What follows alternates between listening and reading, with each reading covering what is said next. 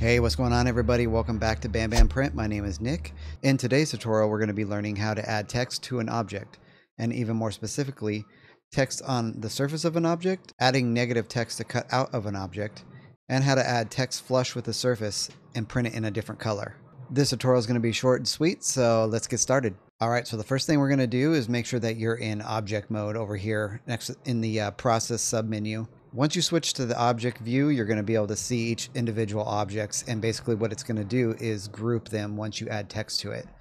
So use the text tool right up here, click on it, or I recommend learning all the different shortcuts because it's going to make your life a lot quicker and easier when you start to use Bambu Studio a lot more. So the shortcut for text is T.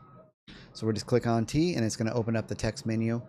The fonts are going to be the different styles. These are going to be pulled straight from your system font folder that you have on your computer. We're just going to pick one of these right up here. Once you pick your font, you can go ahead and input your text. Once you input the text that you want to add to your object, you'll notice if you scroll your mouse over the object, you're going to see it along the surface. If you uncheck the surface option that's right here, it's going to just it's just going to float around and not wrap itself around the object itself. So just make sure you have surface checked and then we can make some adjustments. I'm going to place it right here. We're going to bring the gap spacing in, and that's just basically the space between each letter. I like my fonts nice and close together.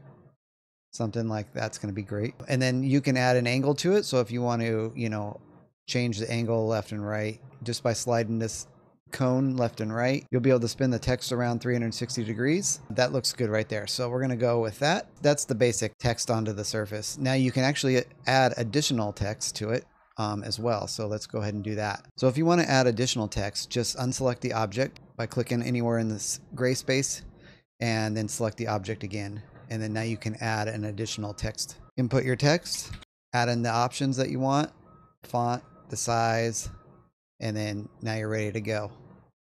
So I think I'm going to go with that right there. We're going to pull the gap in just a little bit, increase the size, and now you have two different text layers added to the object. The next feature on our list is going to be adding negative text that's going to cut into the object. So I pulled in this little ring over here and we're gonna and we're gonna cut into the side of this object with the text. So select your object, push the letter T on the keyboard or click the text shape button here. Select your text and we're gonna give it a 22 size and we're just gonna call this one bam again, bring it around. You can always adjust your text by clicking on the purple cube as well. So once you have it placed, just right click on your text or over here on the left hand side, you can see now that once you switch over to the objects menu, it will group your shapes together. So we've got our shape and we've got we got our shape which is called the ring and then we have our text. You can click on it here and we'll it'll highlight your text. If you right click on it, go change type.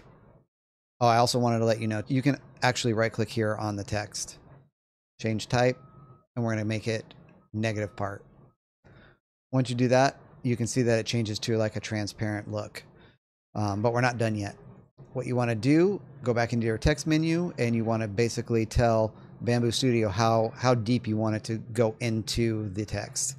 It's not going to push it in, it's going to basically take the backside of the text and dig it into the, the object itself. So we'll put three millimeters here. Once we slice it, now you can see the text is actually cutting out the object. So the next feature I want to show you is going to be this horizontal text feature right here.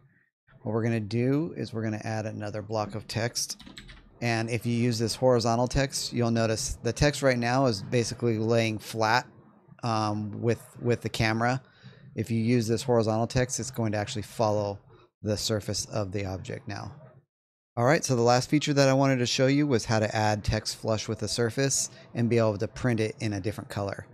What we're going to do is use this ball as our object. We're going to select our text again. We're going to add our text block and we're going to place it right on this ball. Use a horizontal text so it wraps and follows the ball. Um, and then what we want to do is change this to a modifier. And you can either right click straight on the text or go over here on the left hand side panel, change text, and we're going to change it to a modifier. So once you do that, you can see now it changes color. And what we want to do is change the filament type. If you have an AMS setup, you can add your filament in here and then you would just change your filament type to number two. So now the next thing we need to do is tell the slicer uh, how deep we want this text to go inside the object um, and flush with the surface. So if we give it a three for depth and then slice it, now you can see the text is going to be flush with the object itself. And just go down here. And you can see we the, the depth of three shows it's three layers or three millimeters inside the object. All right, guys, I hope you enjoyed this quick tutorial on how to add text to the surface, how to cut into the object, and then how to print text flush with an object. If you haven't already, please subscribe to the channel, and I will see you on the next one.